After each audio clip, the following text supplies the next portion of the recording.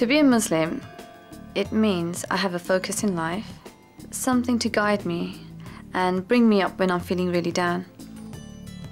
Everyone has good days and bad days. And I feel when I have the worst day, um, I turn to God and it just boosts me and I'm back on my feet straight away. I'm a website manager. It's quite amusing when I first started and I everyone was looking at me because obviously my hijab.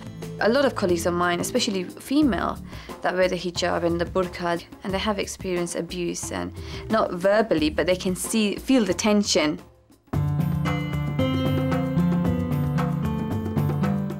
I pray five times a day, um, which commences at first thing before sunrise and then throughout the rest of the day. I do my prayers at work. Now, before I join any company, that's one, one of my conditions. And if they agree, then fine, I will take on the role if I like the role. If they don't, then I w- I wouldn't take that role, simple.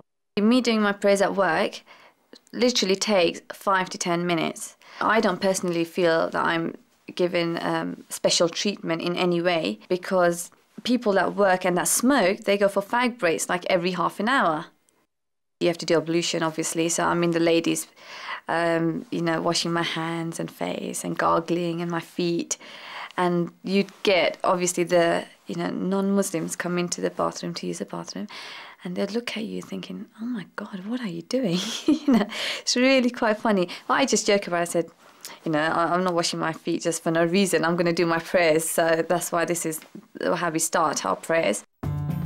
Um, I, I, don't do pubs, and it is against religion to go somewhere where it's consumed with alcohol. If my colleagues want to drink, that's fine. But also, um, I don't buy drinks, alcoholic drinks, and so I don't expect them to buy my drinks neither. To be honest, you're living in a Western society, and you do need to adapt. I mean, I, I feel England, especially, is great to practice my religion.